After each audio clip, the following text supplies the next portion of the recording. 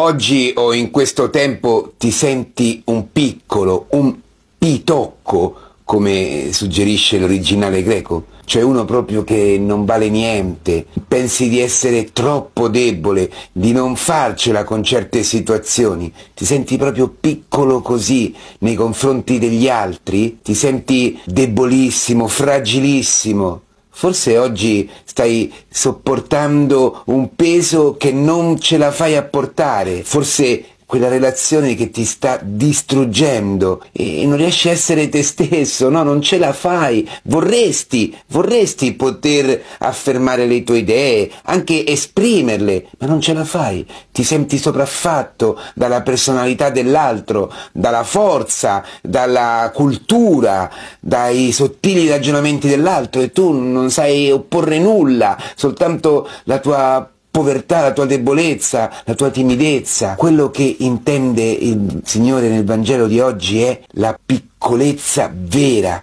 quella che ti fa sentire inadeguato, inutile tante volte, incapace di risolvere certi problemi, per esempio con tuo figlio, con tua figlia, niente, non è possibile, vorresti poterli aiutare e invece non ce la fai, non hai parole, non ti ascoltano, piccolo piccolo così anche come prete forse nella parrocchia o nella missione, sei piccolo, sei piccola? Per la vecchiaia, perché ti hanno lasciato in un ospizio? O perché sei a casa lì su quella poltrona come un soprammobile, vorresti poter aiutare, vorresti poter dire la tua, ma niente, sei lì, ti portano l'acqua, ti aiutano, ma sempre un soprammobile sei, non ti consultano più. Insomma, sei piccolo, sei piccola, beato te, beata te, perché a Dio è piaciuto rivelare ai più piccoli la cosa più grande, il suo amore crocifisso, che non va in cerca della grandezza umana, ma della povertà, della piccolezza, della fragilità di te e di me,